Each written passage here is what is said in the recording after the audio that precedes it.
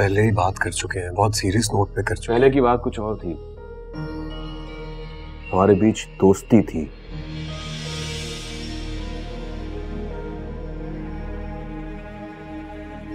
जो मुझे रोक लेती थी। आज मैं सिर्फ़ एक भाई हूँ।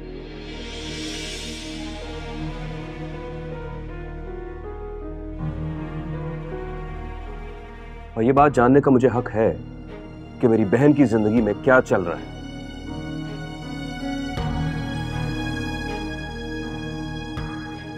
उसकी ज़िंदगी का रिमोट कंट्रोल तुम अपने हाथ में नहीं ले सकते। उसे अपने हाथ की कठपुतली समझना बंद कर दो। तुम्हें लगता है कि वो बीवी है, बेवकूफ़ है। रिवायती औरतों की तरह बेबस है, मजबूर है। लेकिन यह बात तुम अच्छी तरह जान लो कि अभी उसका भाई ज़िंदा है।